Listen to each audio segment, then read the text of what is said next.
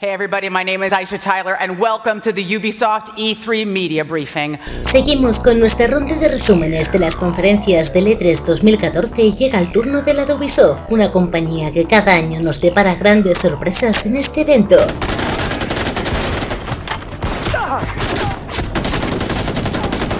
El acto, como ya es habitual, estuvo conducido por la actriz Aisha Tyler, siendo el primer juego en presentarse uno de los grandes Far Cry 4, mostrándose una secuencia en la que pudimos ver una vez más el gran nivel gráfico que nos depara este nuevo episodio de la saga que se lanzará el 18 de noviembre en las plataformas PC, Xbox One, PlayStation 4, Xbox 360 y PlayStation 3.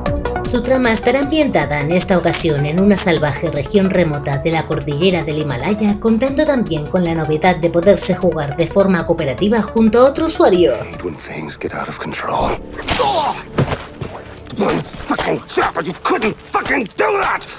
A continuación se anunció Just Dance 5, la nueva entrega de la exitosa saga de baile más jugada del mundo, la cual nos seguirá ofreciendo nuevas posibilidades y los temas musicales más populares del momento. Su lanzamiento está previsto para octubre de 2014, destinado a todas las consolas de sobremesa de Microsoft, Sony y Nintendo.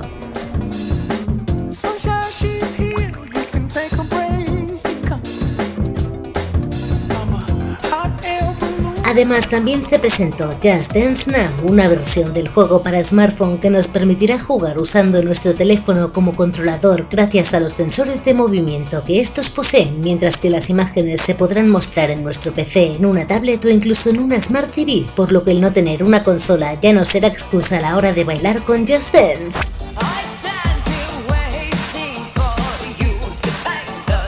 La conferencia continuó con Tom Clancy's The Division, mostrándose una emotiva cinemática que usaba la técnica del time-lapse. Os recordamos que el juego es un innovador shooter táctico en tercera persona, multijugador online en mundo abierto en el que también se combinan algunos elementos de RPG, confirmándose que llegará en 2015 para Xbox One, PlayStation 4 y PC.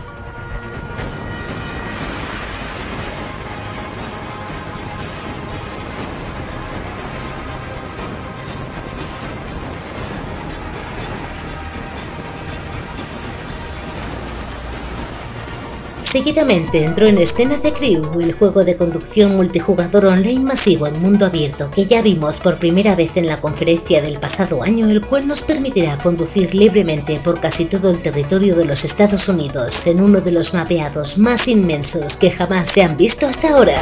Se anunció que su beta pública se podrá probar a partir del 23 de julio, mientras que la versión final llegará a las tiendas el 11 de noviembre viendo la luz en Xbox One, PlayStation 4 y PC.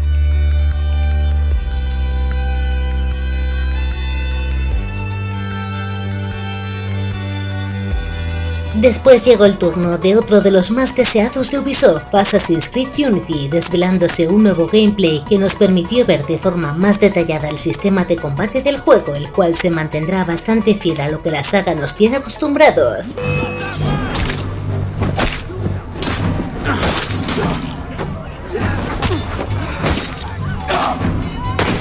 Además, otro detalle que nos sorprendió es la sensacional recreación que se ha realizado del París del siglo XVIII y más aún la cantidad de personajes que se podrán ver en sus calles haciéndose patente el gran salto gráfico que promete esta nueva entrega de la saga, que como ya os contamos también añadirá la posibilidad de poder jugarse en modo cooperativo por hasta 4 jugadores, siendo el 28 de octubre la fecha escogida para su lanzamiento en PC, Xbox One y PlayStation 4.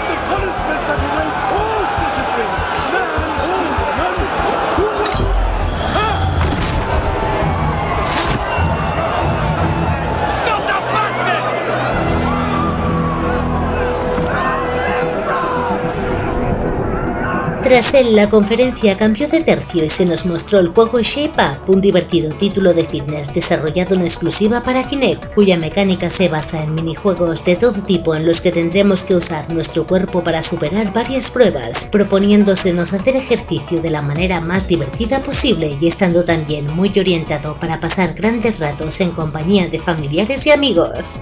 El título llegará a Xbox One a mediados del mes de noviembre.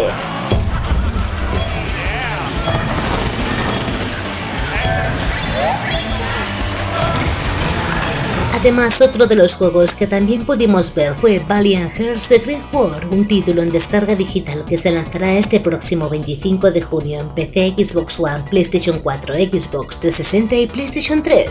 Se trata de una aventura ambientada en la Primera Guerra Mundial que cuenta con un muy cuidado apartado gráfico en dos dimensiones similar a los dibujos de un cómic y cuya jugabilidad mezcla elementos de plataforma, sigilo y numerosos puzzles.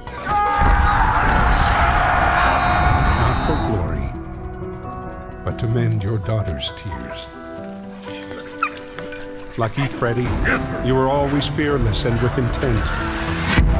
Ya para terminar, el evento de Ubisoft tenía guardado un último as en la manga, nada menos que el anuncio de Tom Clancy Rainbow Six Siege, una nueva entrega de la popular saga de acción táctica que en esta ocasión apostará más que nunca por el componente multijugador en misiones en las que tendremos que enfrentarnos a grupos terroristas y salvar rehenes. You guys, you good? Yeah, I'm ready. No, wait, wait, wait, wait, wait, wait, wait. What? You all right? Yeah, yeah, all good. All right, set up. And on three. One, two, three! Job, guys. Yeah. En concreto, en esta demostración pudimos ver cómo dos equipos de cinco jugadores se enfrentaban por una rehén secuestrada en el interior de una casa, dándose mucha importancia al componente táctico a la hora de planificar el asalto y conseguir salir con la rehén sana y salva. Move, move, move, move, move.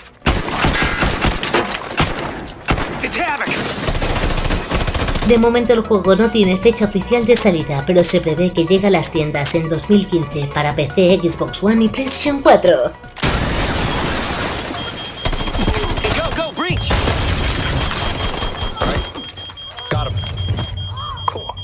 Y con el buen sabor de boca que nos dejó Rainbow Six se puso punto y final a la conferencia, la cual en líneas generales cumplió con las expectativas que habíamos puesto en ella y confirmó Ubisoft como una de las compañías con mejor catálogo de juegos en desarrollo para este 2014 y el próximo 2015.